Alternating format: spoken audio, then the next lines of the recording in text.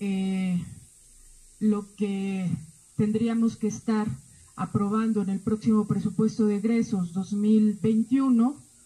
que sería prácticamente entre los meses de noviembre y diciembre, es eh, la eliminación de estas compensaciones extraordinarias. Eh, y por el otro lado, el que em, se pueda reducir no nada más eh, la parte compensatoria, que son los privilegios que ahorita ya se rechazan total y tajantemente, es decir, la afectación al sueldo, sí, efectivamente tendría que eh, ponerse ya sobre la mesa, subirse eh, como uno de los temas de discusión